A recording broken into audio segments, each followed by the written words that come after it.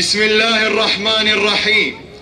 قال تعالى واذا نجيناكم من ال فرعون يسومونكم سوء العذاب يذبحون ابناءكم ويستحيون نساءكم وفي ذلكم بلاء من ربكم عظيم. ان اليوم العالمي لمناهضه التعذيب مناسبه لتسليط الضوء على هذه الجريمه اينما وجدت وفضح من يقترفها والتضامن مع ضحيتها فكل طاغية مجرم ومتكبر ترافقه جريمة سجن الأبرياء والتعذيب والاضطهاد وسلب الحقوق الإنسانية.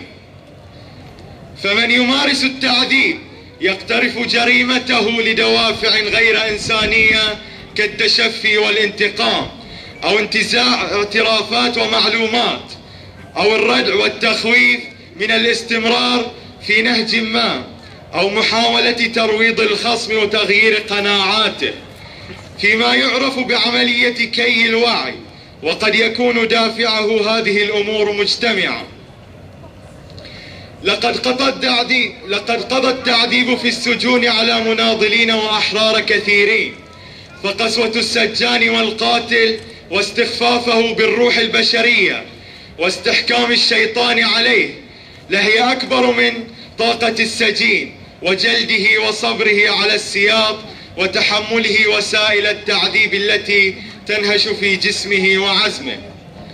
وقد صدرت مواثيق دولية وعالمية كثيرة تحرم التعذيب وتجرمه. طالبت من الدول والمنظمات والسلطات بالتعهد بحماية الأسرى من التعذيب.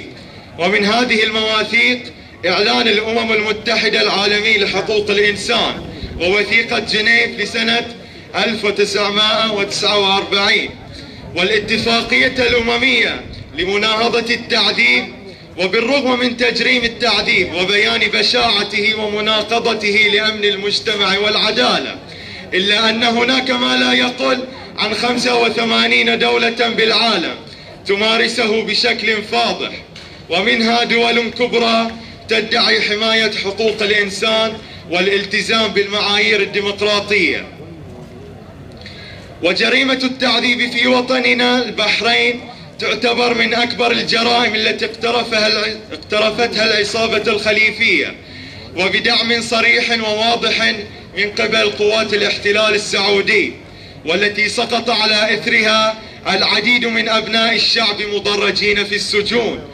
فلم يكن الشهيد جميل العلي أولهم ولم يكن الشهيد عبد الكريم فخراوي آخرهم وإنما ترشح من سجون آل خليفة من جرائم تعذيب وشهداء هو النزر القليل من جرائم القبيلة الخليفية المجرمة عدوة الدين والإنسانية. لقد استخدم الخليفيون التعذيب ووسائله بأبشع صوره. فتفننوا وتلذذوا في تعذيب الأطفال والرجال والنساء بالحديد والحرمان من الأكل والنوم والاغتصاب والتحرش الجنسي ووضعهم في بيئة مليئة بالأمراض تفتقر لأدنى مواصفات الصحة والسلامة. وإننا لا نعجب من جرأة العصابة الخليفية على الاستمرار في ممارسة القتل والتعذيب والتصفية الجسدية فهي تحظى بالحماية السياسية والجنائية من قبل, من قبل الأمريكيين والبريطانيين. ولو كانت العصابة الخليفية تمثل نظاما حرا ومستقلا عن إرادة الغرب لرأينا مطالبات أمريكا وبريطانيا وغيرهما بأن يمثل رموز الكيان الخليفي أمام المحاكم الدولية بسبب جرائمهم.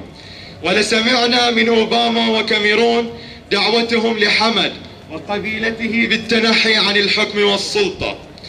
إن آل خليفة ومن يحميهم من الدول الاستعمارية هم أولياء بعض وهم في خندق واحد ضد تطلعات المستضعفين والمسلمين في أوطان تنعم بالحرية والعدالة والتنمية. وإنه بالرغم من التحديات الطائفية والتكفيرية التي تعترض مسيرة صحوة الشعوب إلا أن وعد الله سبحانه للمستضعفين متحقق وثابت وإن يوم القصاص من القتلة والمجرمين والمعذبين هو وعد إلهي لا ريب فيه. نصرة لضحايا التعذيب وتحت شعار الضحايا يطاردون, يطاردون الطاغية. ندعو جماهير هذا الشعب البطل لإحياء اليوم العالمي لمناهضة التعذيب في السادس والعشرين من يونيو. وذلك بكافة الوسائل الإعلامية والفنية والميدانية والتأكيد على مسؤولية المعذبين ومن يحميهم في أعلى الهرم من جرائم التعذيب.